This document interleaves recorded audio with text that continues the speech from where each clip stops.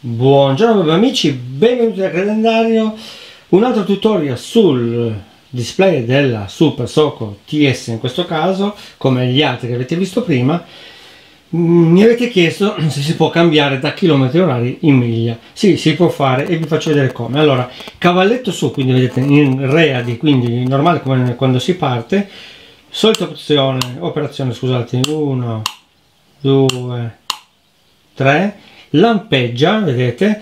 Cosa facciamo? Quando lampeggia così se noi spostiamo e accendiamo il pulsantino vedete da miglia se rifacciamo la stessa opzione da chilometri. Quindi diciamo che lasciamo e riattacchiamo il pulsante miglia chilometri ok? Semplicissimo. Ovviamente oltre qua in miglia segnerà anche questo in miglia ok? Al prossimo video da credendario. Ciao ciao